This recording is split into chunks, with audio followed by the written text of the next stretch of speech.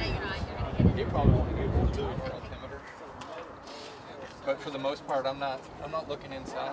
I'm looking up here. And now uh, you get in over there.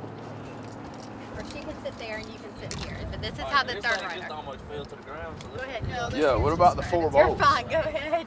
Where's my feet go? I don't worry about y'all it. There's gonna only straddle each other. Only three today. I'm doing between. Okay, there you go. You have to straddle.